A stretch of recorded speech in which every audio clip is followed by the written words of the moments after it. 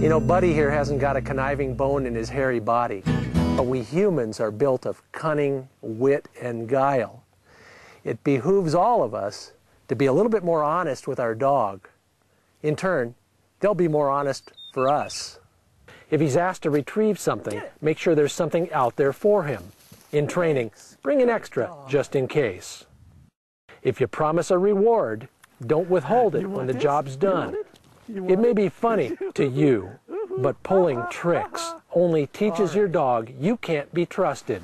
Good dog. So be honest with your dog, and he'll be honest with you, which means he'll Good work harder when You're you ask learning. him to. All right, let's go.